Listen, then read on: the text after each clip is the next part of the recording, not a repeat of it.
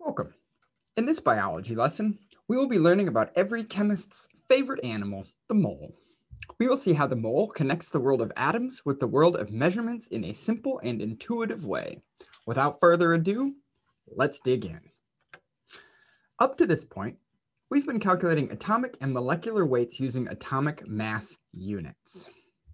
However, atomic mass units measures the mass of a single atom. One atom has such a teeny tiny mass that AMU are not really useful to measure anything else.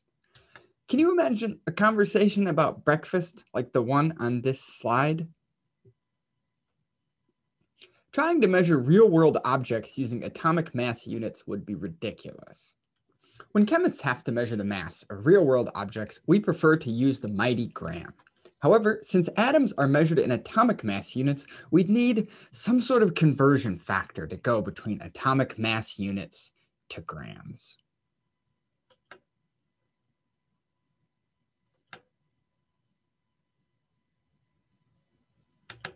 The number 6.022 times 10 to the 23rd is just that conversion factor. It's the number of atomic mass units in one gram. This number has the nickname 1 mole. The word mole is just human shorthand for a specific number. In the same way that the word dozen symbolizes 12, the word mole symbolizes 6.022 times 10 to the 23rd. The mole is also called Avogadro's number after this handsome fellow. Interestingly, Avogadro never knew the value of a mole. It's named after him because he predicted that one number could convert between microscopic and macroscopic masses. How big is a mole, you may be wondering? A mole is very, very big. A mole is a trillion trillion. If we gathered a mole of basketballs, it would have the same volume as the Earth. If we counted to one mole of seconds, we would be counting for 190 trillion centuries. This comparison really blows my mind. Astronomers estimate that the total number of stars in the universe is about one mole. That's a lot of stars. The number one mole didn't just pop into existence. As I mentioned, it's the conversion between atomic mass units and grams. So, while one proton weighs one atomic mass unit, one mole of protons weighs one gram.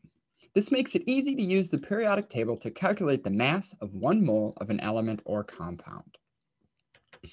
But I'd like to pause and recognize that our tiny human brains have a notorious difficulty working with large numbers like 602 billion trillion. If you're ever feeling overwhelmed by using the word mole in a sentence, you can just substitute the more familiar word dozen. It's much easier to think about things in dozens. In section 3.2, we learned that the formula mass is the mass of one molecule of a compound in atomic mass units. Molar mass is a very similar concept. It's the mass of one mole of compound in grams. So the atomic masses on the periodic table represent the mass of atoms in AMU, and they also represent the mass of one mole in grams. It's the exact same number. We calculate the molar mass in the same way that we calculate formula mass, by adding up the masses of each element in the compound. Pause the video and practice calculating the molar mass of oxygen as well as sulfur dioxide. Recall that oxygen is a Brinkelhoff diatomic, so the molar mass of oxygen is two times the molar mass of an oxygen atom, or 32 grams per mole. The molar mass of sulfur dioxide is two times the mass of oxygen plus the mass of sulfur, or 64 grams per mole. You will be calculating lots of molar masses in this class, so keep a periodic table close by. This image shows one mole of some familiar substances, copper, water, table salt, sucrose, and aluminum.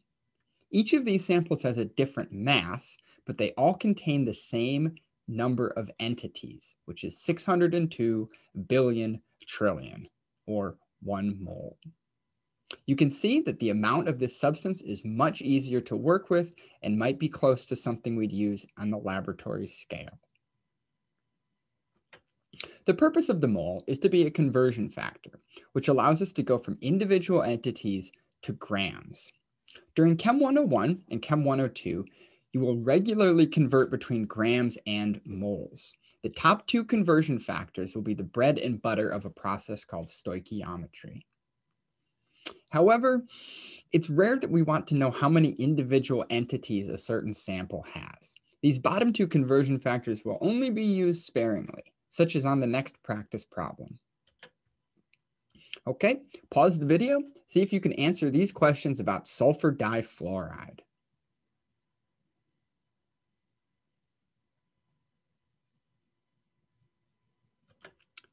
Calculate the molar mass of sulfur difluoride, we first need to know the formula of sulfur difluoride, which is SF2. To calculate the molar mass, we'll take the mass of one sulfur and add it to the mass of two fluorines. Sulfur dioxide weighs 70.1 grams per mole. To convert 100 grams of sulfur difluoride into moles, we need a conversion factor to go between grams and moles. Luckily, the molar mass we just calculated is the perfect conversion factor. Be sure to flip the fraction so that grams is on the bottom and our units cancel properly. To convert from grams to individual molecules, as in the last question, we need two conversion factors. We'll use the molar mass first, but then we need to convert from moles to molecules using Avogadro's number.